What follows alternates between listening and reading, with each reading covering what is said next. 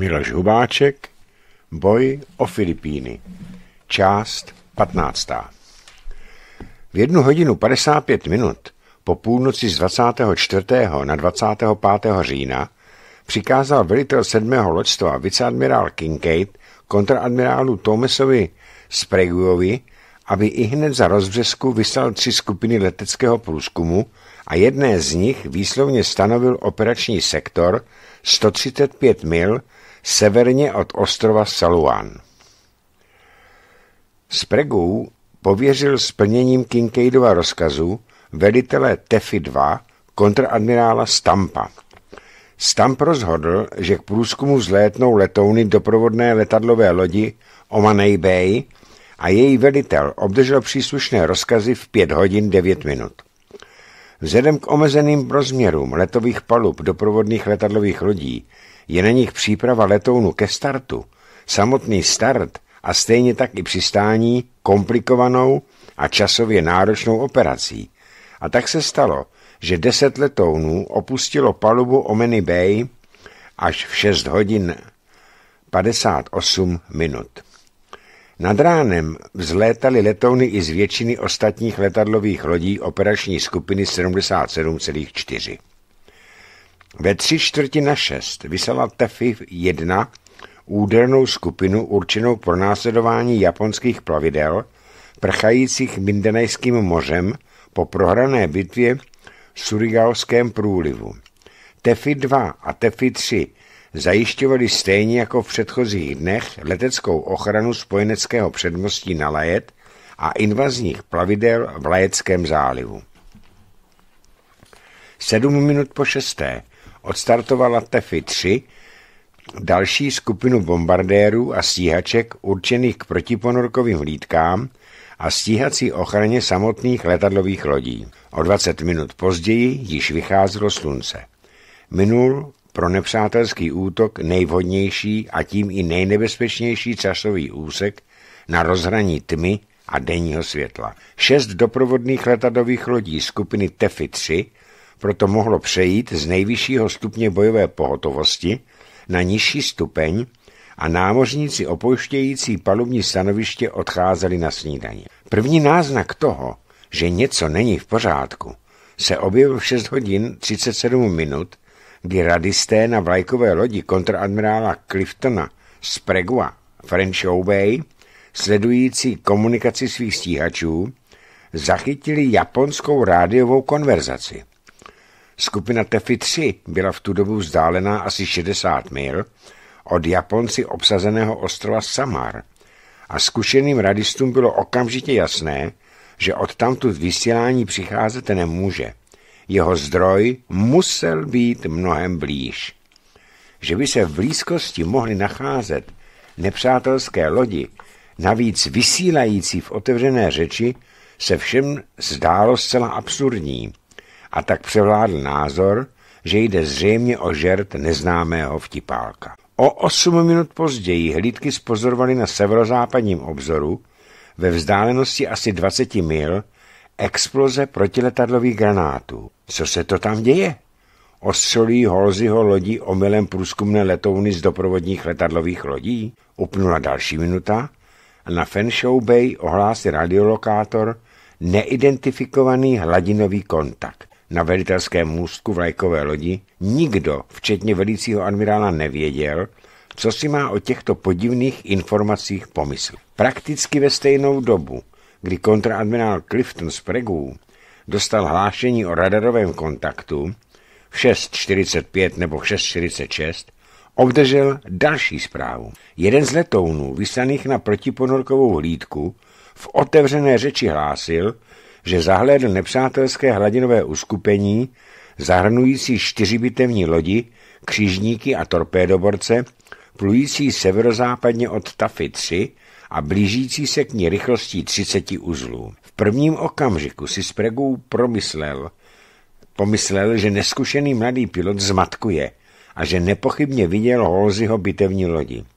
Proto dal kontrolnímu středisku kategorický rozkaz, aby pilotovi poručil poručíku Williamu Brooksovi nařídilo spozorovaná plavidla přesně identifikovat. V 6 hodin 48 minut přišla od Brookse odpověď potvrzující, že jde o japonské lodi s typicky pagodovými stožáry. Navíc protiletadlová palba na severozápadním obzoru zesílila, neboť Brooks na jeden z japonských křižníků odvážně zautočil. Protože vzlétl k běžné ponorkové hlídce, byl jeho letoun vybaven pouze dvěma hlubinými pumami, což bylo jediné, čím nyní mohl nepřátelskou formaci napadnout. Samozřejmě, že silně pancéřovanému těžkému křižníku neublížil, ale po jeho náletu již na Spregovově vlajkové lodi nikdo nepochyboval, že se od severu blíží nepřátelské loďstvo. Za pár minut to bylo potvrzeno s absolutní jistotou. Nad horizont se vynořily pagodovité stožáry kuritových bitevních lodí a křižníků. V 6.58 japonská děla vypálila ze vzdálenosti 25 kilometrů první salvy. Kolem spregových letadlových lodí se zvedly gejzíry v odstínech růžové, zelené, červené a žluté, jak se japonští dělostřelci zastřelovali projektily obsahujícími barvu. Toto strašidelné, ale současně fascinující divadlo jeden z námořníků na letadlové lodi White Plains s notnou dávkou černého humoru komentoval slovy. Podívejte, střílej na nás v technikoloru. Kontradmirál Clifton s Pregou však měl jiné starosti, než sledovat vzrušující podívanou. To, co před pár minutami nedokázal si představit ani v nejhorším snu, se náhle stalo tvrdou skutečností. Japonský střední svaz, který podle odhadu admirála Holziho a jeho štábu měl být nálety z předchozího dne zdeptán a v podstatě na ústupu překonal v posledních sedmi hodinách 125 až 150 mil, aniž o tom měl na americké straně kdokoliv potuchy. A při vjezdu do Filipínského moře nejen, že nebyl zastaven Holziho bitevními loďmi, ale nebylo tam ani jedno, jedno plavidlo, ani jeden letoun, které by jeho přítomnost včas ohlásili. Včasné varování tentokrát nedali ani radiolokátory, jediný podezřelý signál zaznamenali prakticky ve stejnou dobu, kdy nepřítele spozorovali už i hlídky na letadlových lodích.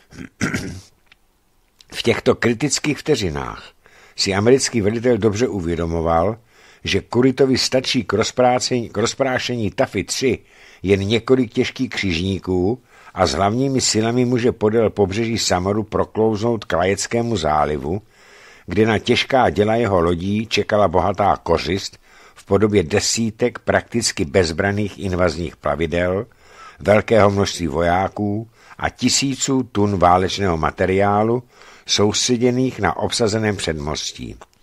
Jakou šanci mohlo mít šest pomalých, nepancéřovaných doprovodných letadlových lodí, každá vyzbrojená jedním 127 mm dělem, proti 457 mm, 406 mm, 356 mm a 203 mm bočním salvám japonských bitevních lodí a křižníků, které navíc mohly vyvinout dvojnásobnou rychlost. Žádná letadlová loď není určena k hladinovým střetnutím a malé doprovodné letadlové lodi dokonce nebyly připraveny ani na to, aby svými palubními letouny útočili na nepřátelstvé loďstvo, jejich přesné vymezené úkoly byly zcela jiného charakteru. Že šest z nich neočekávaně se ocitne na dostřel 23 japonských bojových plavidel, mezi nimiž budou čtyři bitevní lodi, a šest těžkých křižníků, to nikdy nepřišlo nikomu ani na mysl. Na dlouhé přemítání však nebyl čas. Japonský svaz se přibližoval vysokou rychlostí za hromového dunění největších děl na světě, činících z dělových věží Yamata a kontradmirál Clifton Sprague odhadoval, že Tefy 3 může této valící se lavině odolávat na nejvýše 15 minut. Ale každá minuta, po kterou se doprovodným letadlovým lodím podaří Japonce zadržet, zvyšovala naději, že přispěchali Holzy a Oldendorf a zabrání nejhoršímu, to jest zničení výsadkového loďstva a vojsk v Lajeckém zálivu. V 6.57 s Pregou nařídil obrat o 90 stupňů a zvýšení rychlosti na 16 uzlů. Tefy 3 zamířila přímo na východ do prostoru rozsáhlé dešťové přehánky.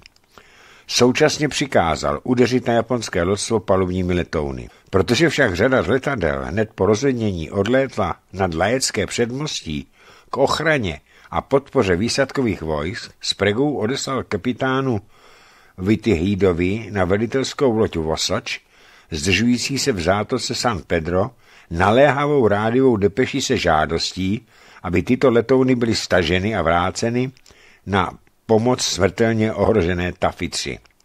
Whitehead, který měl ve štábu velitele 7. lostovice admirála Kincaida na starosti koordinaci činnosti palubního letectva spolupracujícího s pozemními vojsky, vyhověl okamžitě.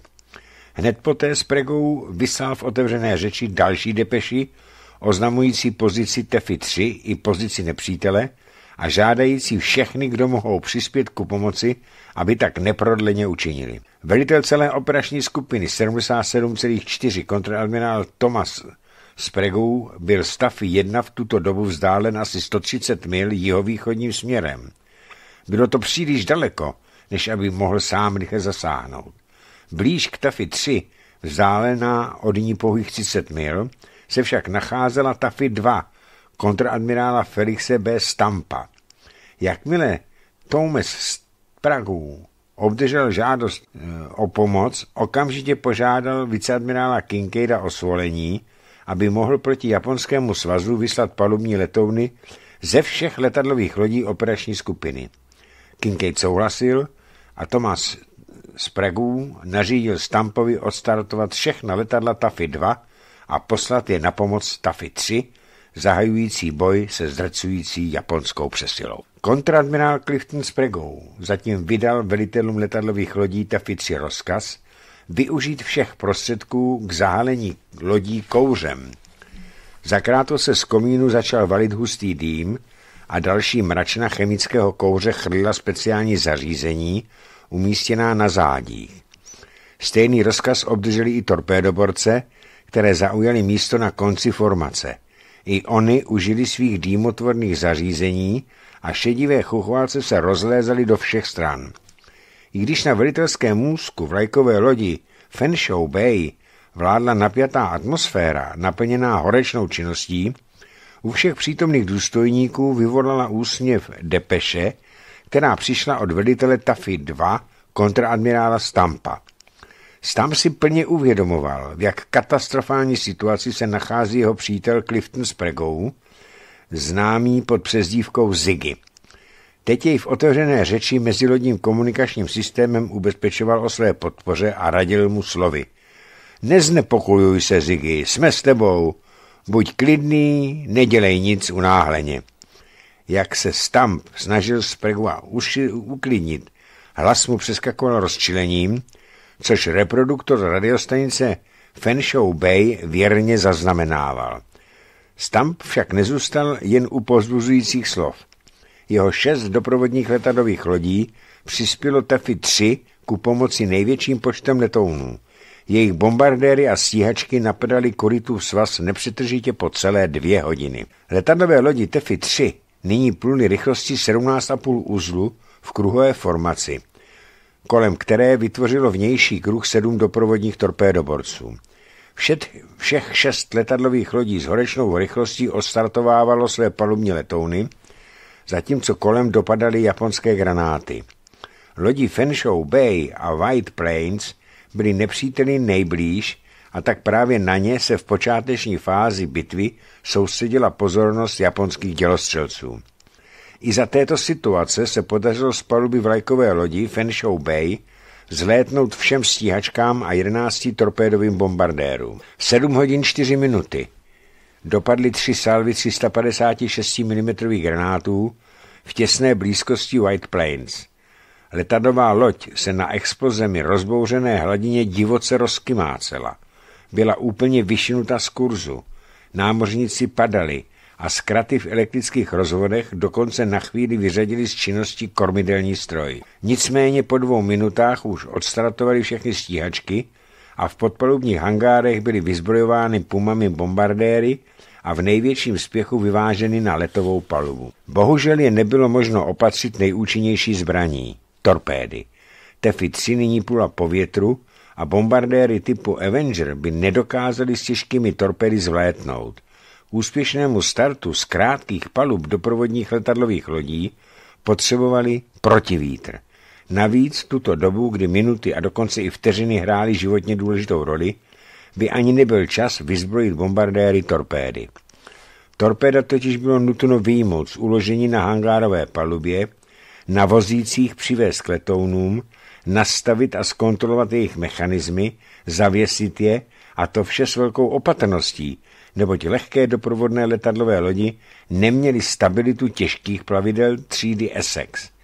Naštěstí již v nočních hodinách dal koordinátor letecké podpory kapitán Whitehead rozkaz, aby byla řada Avengerů na všech letadlových lodí operační skupiny 77,4 opatřena torpédy a po rozednění vyslána k pronásledování Japonců prchajících surigálským průlivem. Jakmile Tefy 3 změnila kurz, mohly tyto bombardéry okamžitě zhlédnout a stejně tak i další z ostatních letadlových lodí.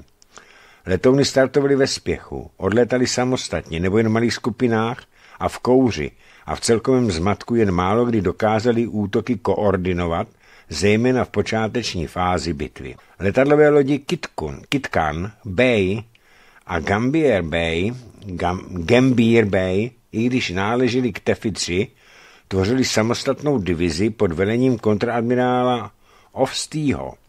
Krátce po sedmé hodině z jeho vlajkové lodi Kitkan Bay odstartovalo 11 Wildcatů a 6 Avengerů, vedených velitelem jejich letecké skupiny fregatním kapitánem Fowlerem.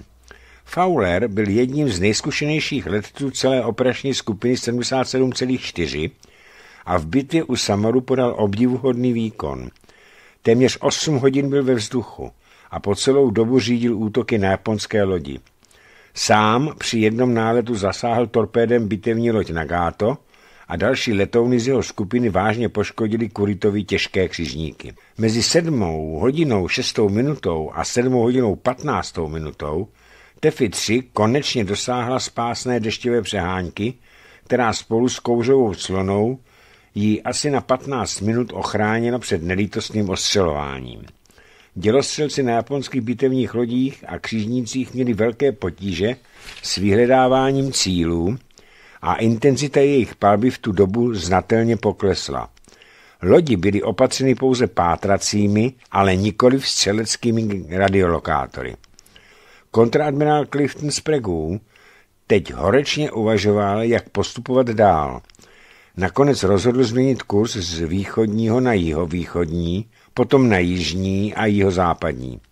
Jednak doufal, že její nový kurz povede v ústretí pomoci spěchající z prostoru Lajeckého zálivu, jednak se chtěl stále držet mezi nepřítelem a Lajeckým předmostím, pokud nepřijde pomoc čas a Tafy 3 bude zničena, tak ať alespoň brání Japoncům v postupu klajet co nejdéle. Pomoc, na kterou kontradmirál Clifton Sprague ve své nejtěžší chvíli spoléhal, však byla daleko. Přestože viceadmirál Kincaid hned poté, co dostal hlášení, že na Tefy 3 útočí silné uskupení japonských plavidel, odeslal admirálu Holzimu naléhavou depeši žádající, aby se jeho rychlé bitevní lodi okamžitě vrátili k Kajeckému zálivu, Holzy považující za svůj prvořadý úkol zničení Ozavova severního svazu, se nehodlal zbavovat jejich podpory. Až později, kdy se situace jevila vyloženě kritickou, Kincaid nařídil kontradmirálu Ohlendorfovi, aby se se svou skupinou bitevních lodí přesunul od Surigaoského průlivu na sever. Ohlendorfa však nejenže dělilo od oblasti zuřící bitvy téměř 100 mil, ale právě po právě skončeném boji s Nishimurou a Shimou se stenčily jeho zásoby paliva, munice pro hlavní děla a po celonoční bitvě byla nezanedbatelná i únava posádek jeho lodí.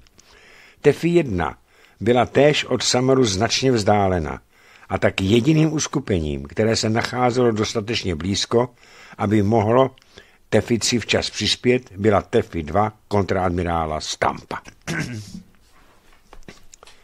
Asi v 7.20 začala Tefi 3 vyplouvat z dešťové přehánky, která ji na chvíli poskytla úkryt.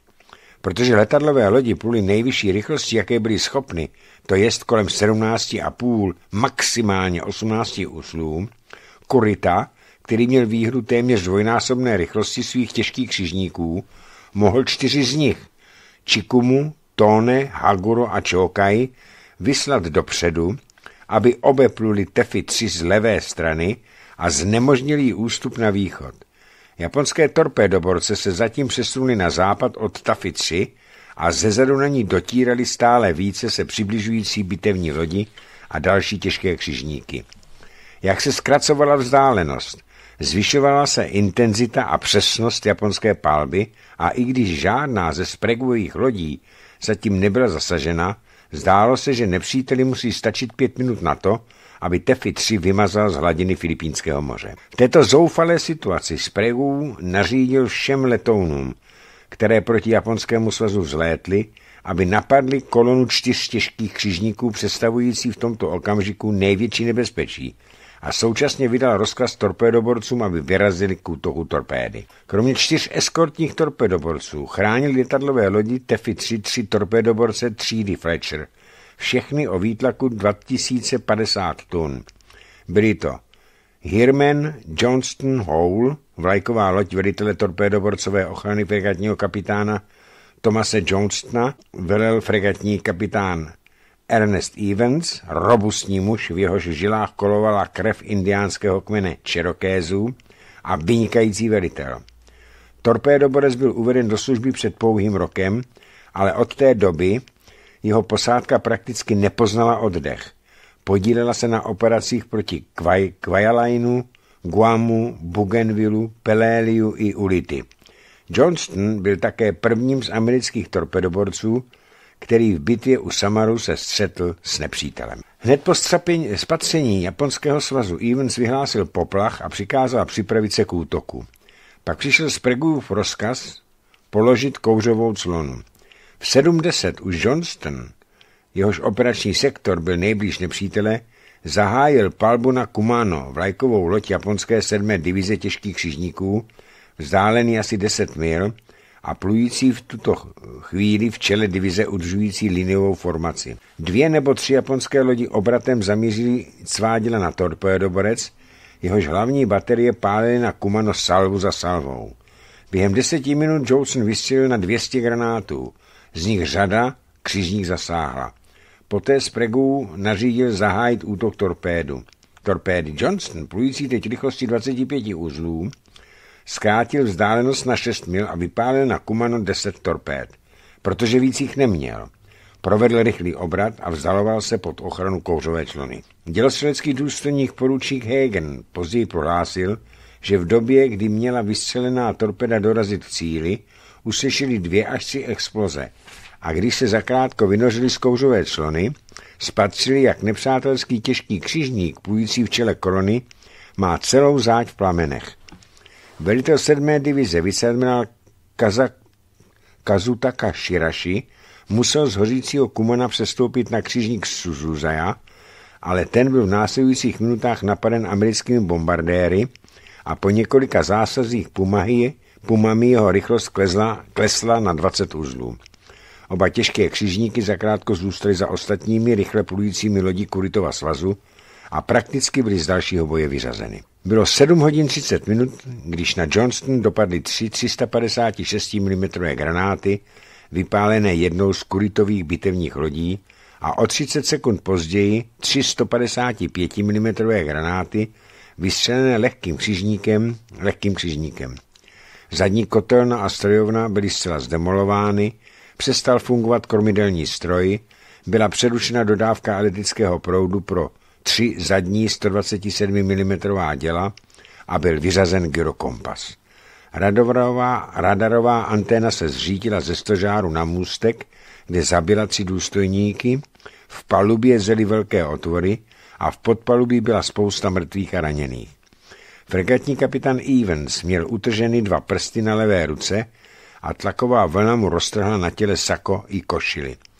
Rychlost klesla na 17 uzlů a loď byla od této chvíle třeba řídit z nouzového stanoviště. Naštěstí se podařilo dosáhnout dešťové přehánky, kde se torpédoborec na 10 minut ukryl. Během té doby došla na můstek hlášení o škodách a posádka se snažila opravit, co bylo v, silách, v jejich silách. Přívod k elektřinných dělům číslo 3 a 5 byl alespoň částečně obnoven, ale dělo číslo 4 muselo být obsluhováno manuálně. Přes pohromu, která na něj dopadla, byl však Johnson stále schopen pokračovat v boji. Vlajkový torpedoborec Hole byl poprvé zasažen v 7.25, když se pokoušel o přiblížení k bitevní lodi Kongo, nacházející se na počátku útoku ve vzdálenosti 7,5 míle. Japonský granát dopadl na můstek a zničil radiostanici. Nicméně torpédoborec pokračoval vysokou rychlostí dál a o dvě minuty později ve vzdálenosti pěti mil vypálil pět torpéd. Bitevní loď se snažila prudkým obratem uhnout ze její dráhy a s největší pravděpodobností se jí to podařilo. Žádný zásah nebyl spozorován. V 7 hodin 28 minut se přiřítil s hromovým rachotem 356 mm granát a narazil do prostoru zadní strojovny.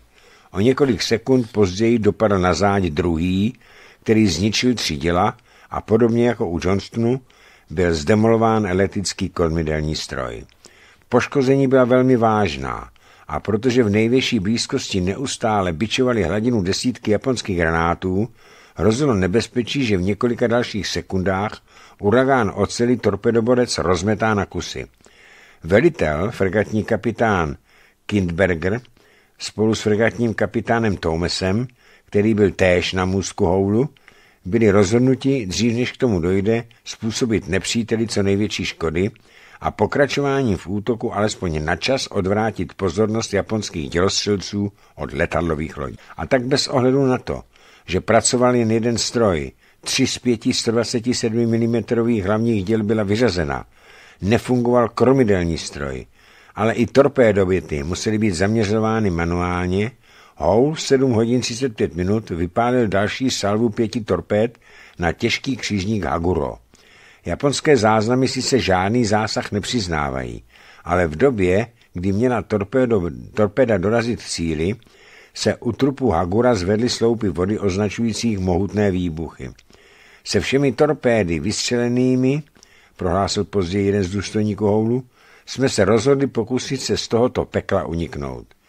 Napůl ochromená loď začala ustupovat eh, na jihozápad, ale vymanit se ze smrtelné pasti bylo prakticky nemožné. Čtyři míle na levoboku měla japonské bitevní lodi a tři a půl míle na pravoboku těžké křižníky. I když to bylo naprosto neuvěřitelné, Houl od momentu, kdy byl poprvé zasažen, dokázal odolávat hodinu a pět minut. Za tu dobu byl zasažen více než 40krát. Naštěstí všechna 356 mm, 203 mm a 127 mm granáty byly průbojné a tak prolétly jeho trupem, aniž explodovaly, ale i tak zanechávali za sebou neskutečnou spoušť. Trup byl mnohokrát proražen a to i pod čarou ponoru a do podpalubí se valila voda. Nástavy byly rozbity, na zádi planuly požáry. Dvě přední děla však stále pokračovala v palbě. Celkem vystřelila na 500 granátů. Jeden pracující stroj sice dával houlu rychlost umožňující manévrovat, ale to nestačilo, aby dokázal svému osudu uniknout. V 8 hodin 30 minut 203 mm granát zasáhl druhou strojovnu a to znamenalo konec. Torpédoborec se zastavil. Podpalubí již bylo v dější části zaplaveno Oheň se blížil přednímu skladišti munice, Houl se silně nakláně nakláněl na levobok a záď se již nořila pod hladinu. Na můstku, obklopení mrtvými a umírajícími, stáli fregatní kapitáni Thomas a Kindberger. Kindberger nařídil opuštění lodi. Před ním stále ještě střílejícím dělům musel vyslat posla, aby jejich obsluhy vůbec přiměl opustit stanoviště. V 8 hodin 35 minut se Houl převrátil na levobok a zmizel pod hladinou a spolu s ním i 253 muži posádky. Téměř všichni, kdo se zachránili, byli zraněni. 15 těžce raněných zemřelo. Vážně raněn byl i fregatní kapitán Thomas, ale přežil. Přežil i fregatní kapitán Kinberger, který v bojovém hlášení o výkonu a chovátky posádky napsal Plně si vědomí nevyhnutelného výsledku boje s nepřítelem majícím tak obrovskou převahu, tito muži vykonávali své povinnosti klidně a efektivně až do chvíle, kdy byla jejich loď pod nimi rozstřílena. Torpedoborec Hirman, který chránil jihovýchodní bok formace doprovodných letadlových lodí, byl proto ze všech amerických plavidel od Kuritova svazu nejvíce vzdálen, přecházel do útoku a v době, kdy kontradmirál Spregou už nařizoval druhý útok, který měli provést čtyři eskontní torpedoborce. Hirman musel proplout napříč celou formací letadlových lodí a jeho velitel, fregatní kapitán Amos Hathaway, který nevěděl, že vlajkový torpedoborec Hole už svá torpéda vypálil, měl v úmyslu napadnout Japonce ve spolupráci s ním. Viditelnost byla velmi špatná vzhledem k valícím se oblakům kouře a střídajícím se deštivým přeháňkám. Jen tam, kde vítr na chvíli kouř rozehnal, se dalo dohlédnout až do vzdálenosti asi 13 mil.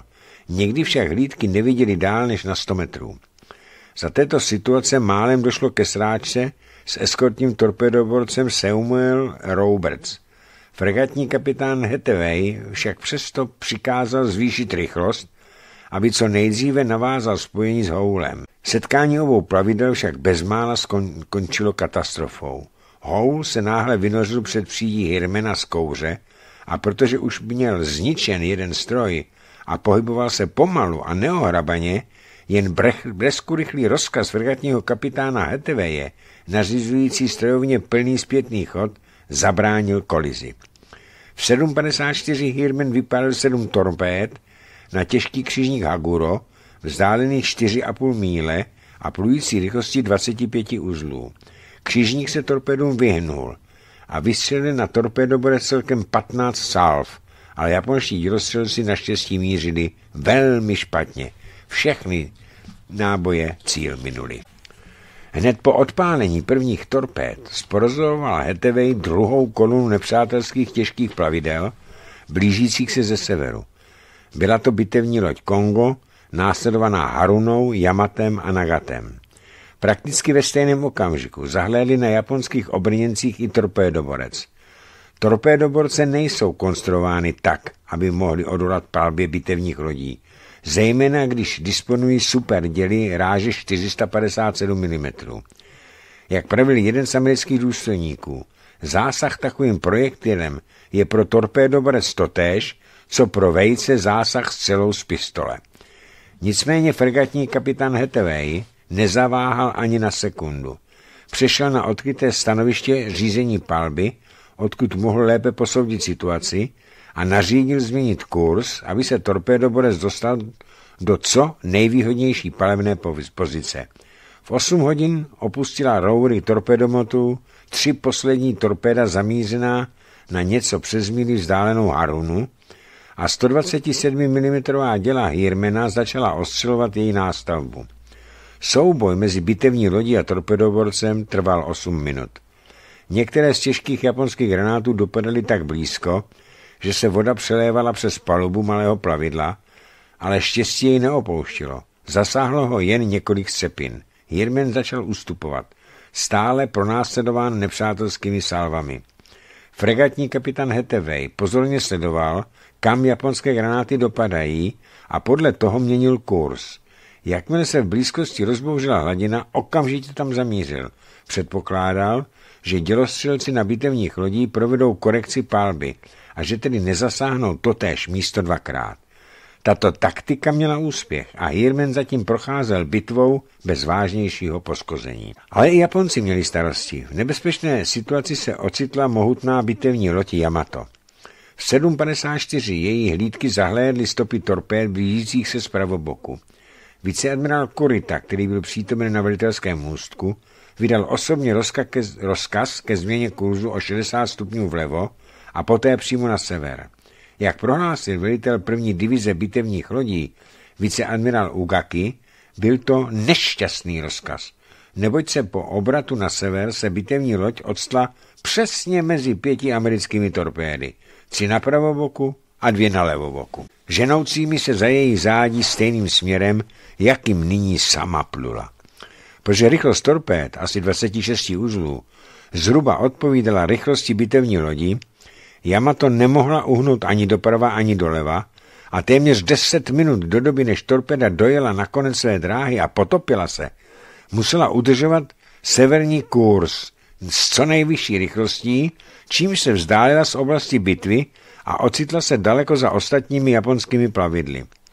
Není přesně známo, který z amerických torpédoborců takto, tato torpeda vystřelil, ale pravděpodobně to byl Houle. V 7.42 kontraadmirál Clifton Sprague nařídil druhý útok torpédy, jehož aktéry měli tentokrát být čtyři eskortní torpédoborce.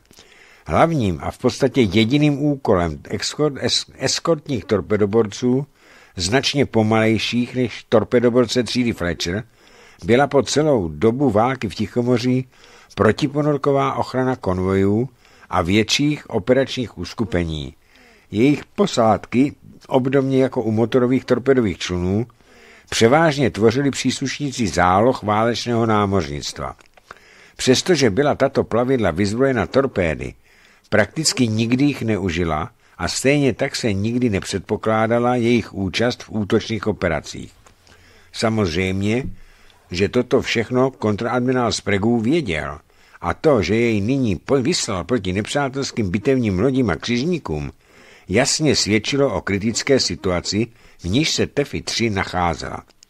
Ale i přes všechny nedostatky ve způsobilosti eskortních torpedoborců pro útočné akce nepostradali jejich posádky vysokou bojovou morálku, což v bitvě u Samaru prokázali naprosto přesvědčivě. Jedním z nich, Samuel Roberts, se chtěl připojit už k prvnímu protiútoku vedeného Hirmanem, Howlem a Johnstonem. Jeho vaditel, korventní kapitán Copeland, se rádiem dotázal fregatního kapitána Tomese. Chcete, abychom do toho šli s vámi? Toumes, který měl obavu, že Roberts nebude stačit jeho třem rychlým plavidlům, odmítl. Za okamžik si zřejmě uvědomil, že briskní odmítnutí nebyla zrovna nejvýhodnější reakcí a signalizoval Copelandovi pokyn, aby se či, čtyři eskortní torpedoborce sformovali k samostatnému protiútoku. Protože posádky eskortních torpedoborců nikdy nenacvičovaly vytváření bojových útočních formací ani útok na nepřátelská hladinová plavidla, Coupland věděl, že pokoušet se o něco takového nyní by jen bylo ztrátou ceného času a stejně by to nemělo žádný efekt. A tak se ani nesnažil spojit se s ostatními třemi eskortními torpedoborci, nacházejícími se v tu dobu na druhé straně uskupení letadlových lodí, a přestože byl odmítnut, následoval v odstupu asi jedné a půl míle Houl a Hirman, mířící přímo k japonským bitevním lodím a křižníkům. Když Houl, Hirman a za nimi Samuel Roberts míjeli do torpedoborec Johnston, který právě vyplouval z dešťové přehránky, do níž se ukryl po odpálení torpéd, velitel Johnston, fregatní kapitán Evans, se bleskulichle rozhodl. Neměl si se už žádná torpéda, ale zůstala mu děla.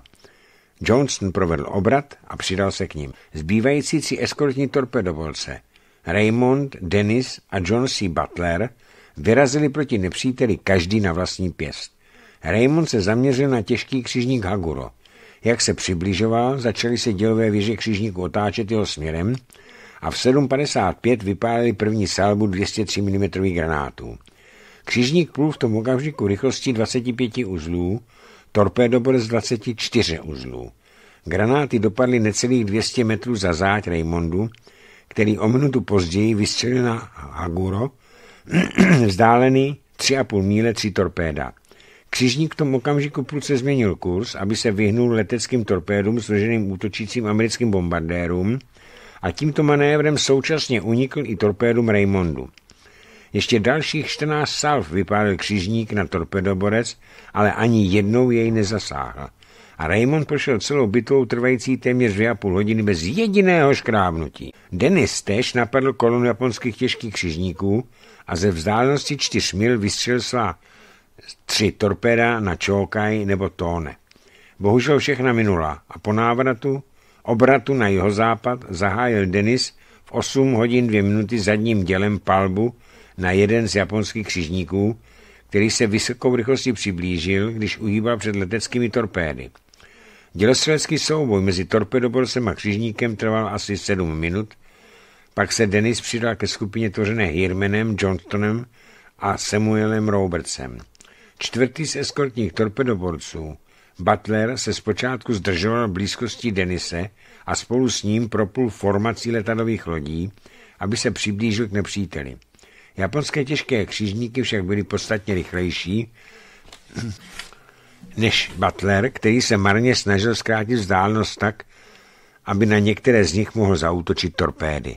Po nějakou dobu je ostřeloval 127 mm děly a vyčkával, zda křižníky sami neprovedou manévr, který by je přivedl na dostřel jeho torpédomotu. Nestalo se tak. 8.42 těžký křižník Tóne obrátil na stále dorážející torpedoborce všechna svá děla a zasypal je smrští 203 mm granátů. V 8.50 jeden z nich zasáhl Denise. Prolétl palubou a na prvoboku metr nad čelou ponoru prorazil trup, naštěstí neexplodoval. Další a daleko závažnější úder dopadl o deset minut později a za pár sekund třetí. Dvě děla Denise byla zdemolována a řada mužů zabita. V 9.02 torpedoborec začal ustupovat, ukryt do kouřové clony položené Butlerem. Křižník Tóne zatím přinesl palbu na letadlové lodi a admirál Spregů nařídil veliteli Butlera, korvetnímu kapitánovi Paceymu, aby se okamžitě přemístil na levý bok uskupení letadlových lodí a pokusil se je před tonem zakrýt kouřem. Po odplutí Butlera a ústupu poskoženého Denise zůstal na dosah děl nepřátelských těžkých křižníků osamělý Samuel Roberts. Poprvé byl zasažen v 8.50 a granát porazil trup pod čarou ponoru a vyřadil kotelnu číslo 1. Pak následoval jeden úder za druhým.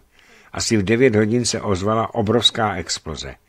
Na torpédobor zřejmě dopadla salva 356 mm granátů bitevní lodi Kongo.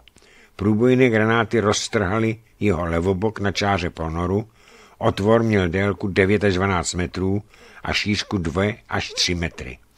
Do podpalubí se valily veliké spousty vody.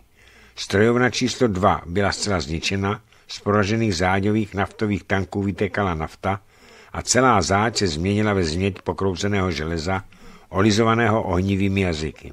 V kouři, v plamenech, za neustálých výbuchů ozývajících se na všech stranách a za sténání raněných a umírajících, prokazovala celá posádka nesmírnou statečnost.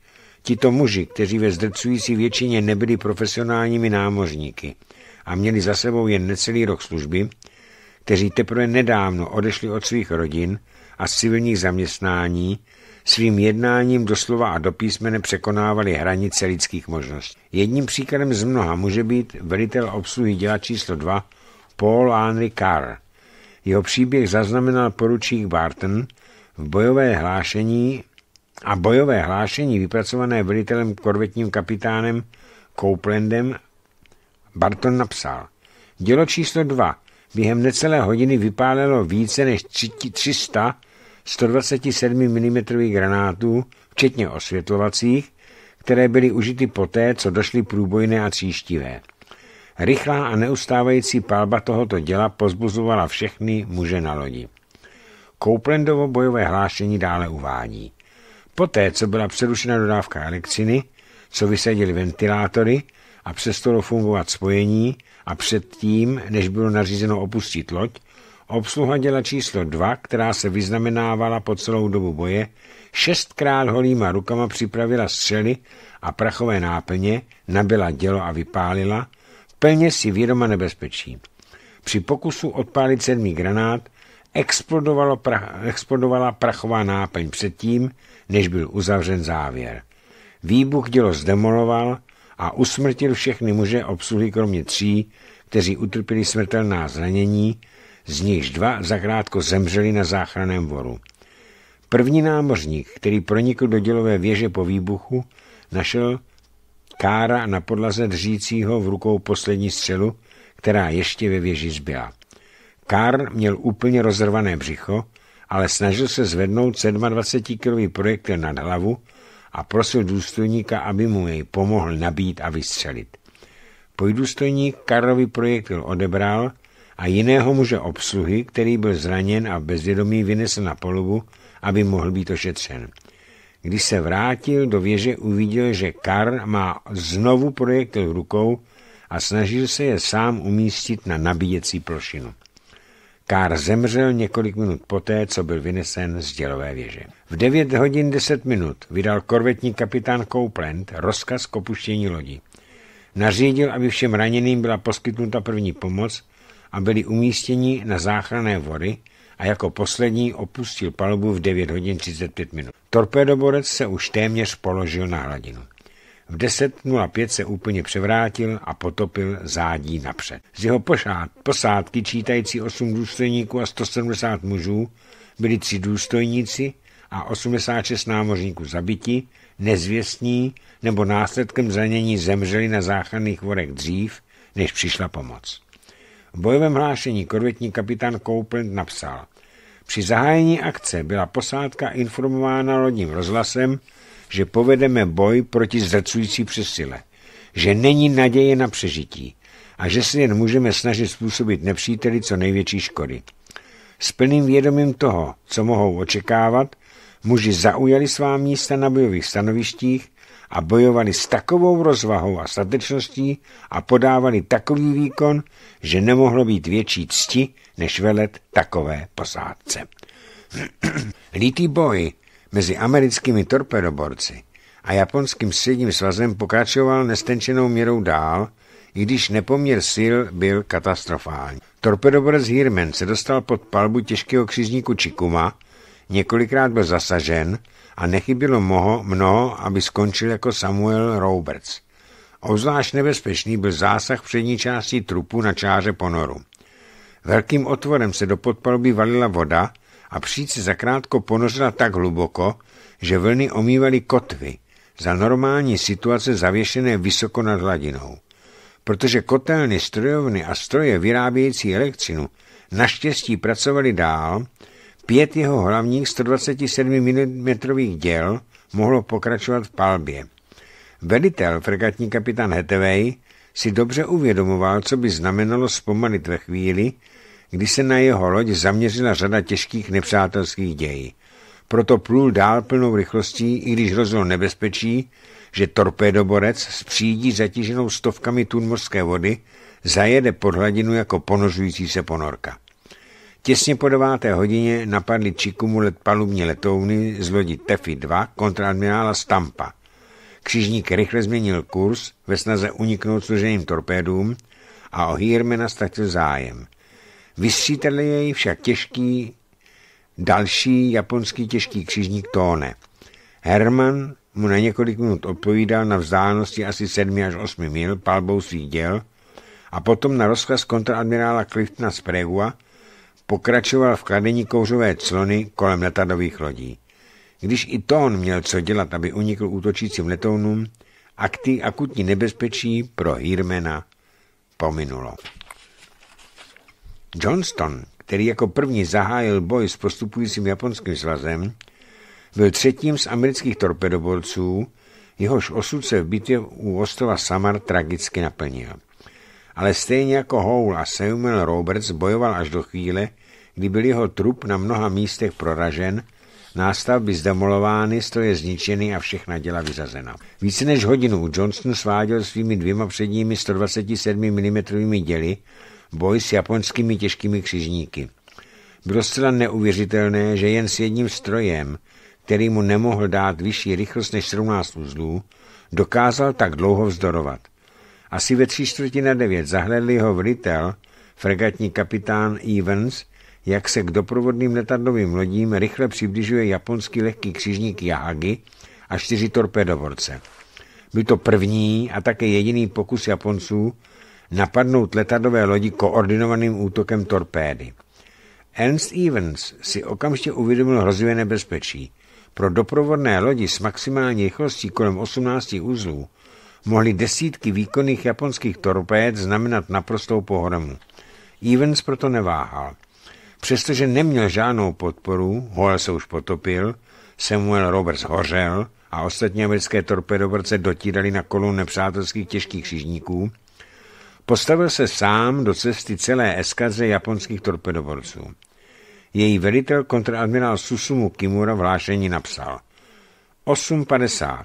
Z kouřové slny na levobuku před námi se vynořil nepřátelský torpedoborec a zahájil palbu a útok torpédy. Yahagi provedl úhybný manévr obratem doleva a ve stejnou dobu nařídil torpedoborcům zaútočit. Japonský kontradmirál samozřejmě nemohl tušit, že Johnston svá torpeda už dávno vystřelil a z jeho pěti děl už jen dvě přední byla plně bojeschopná. Jimi nyní Johnson začal ze vzdálenosti pěti mil ostřelovat lehký křižník a pokračoval až do vzdálenost se zkrátila na tři a půl míle. Během té doby byl několikrát zasažen, ale podařilo se mu asi dvanáctkrát zasáhnout Yahagi. Náhle došlo k překvapení. Yahagi změnil kurz o 90 stupňů a jeho děla se odmlčela. Johnston okamžitě přenesl palbu na první v linii japonských torpedoborců a i ten několikrát zasáhl. Pak se překvapení opakovalo. I nepřátelské torpedoborce provedly ostrý obrat a začali se od Johnstonu zdalovat. Vysvětlení však bylo jednoduché. Provedený manévr měl Japoncům zajistit nejvýhodnější postavení k vypálení torpéd.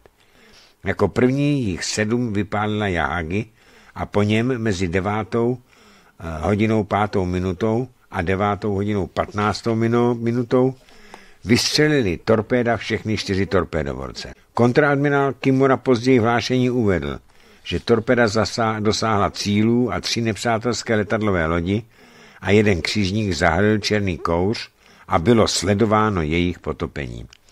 Naštěstí to nebyla pravda, že se tak nestalo. A na tom měl lví podíl právě torpedoborec Johnston.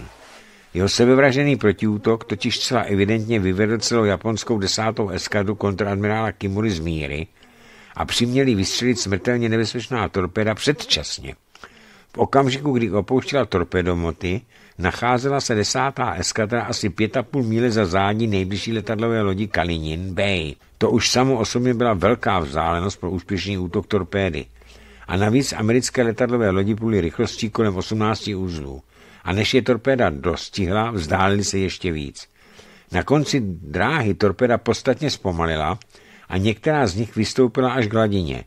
Potom mohlo dojít k tak krůjezným situacím, že ostřelováním palubních zbraní přivedl jednoho z nich k výbuchu poručík Leonard Waldrup, pilot torpedového bombardéru z letadové lodi St. Law a druhé úplně vybočilo z kurzu, když jeho blízkosti explodoval 127 mm granát, vypálený z palubního děla téže letadlové lodi. Ostatním torpédům se letadové lodi bez větších potíží vyhnuly. Tak jedna z nejnebezpečnějších akcí japonského středního svazu provedená v bitvě v průběhu bitvy u Samaru skončila naprostým neúspěchem. Torpedobrec Johnson však za její znasa, e, zmaření zaplatil cenu nejvyšší. Jakmile odpálili torpéda, znovu se čtyři japonské torpedoborce a lehký křižník naplno zaměřili na Johnston. Jeden granát za druhým se zarýval do jeho trupu a nástaveb. Když se v jistém okamžiku poblíž vynozil z kouře, kouře ustupující torpédoborec Hirman, jeho velitel frekatní kapitán Hetevej později popsal tragickou podívanou, která se mu naskytla slovy. Bylo zřejmé, že Johnston je těžce poškozen a nemůže dosáhnout rychlosti, kterou jsme pluli my. Jeho radarová antena vysela z ráhna a Evans mi signalizoval. Jen jeden stroj, bez radaru, bez gyrokompasu. Poslední minuty statečné lodi vylíčil ve svých vzpomínkách poručík Hagen.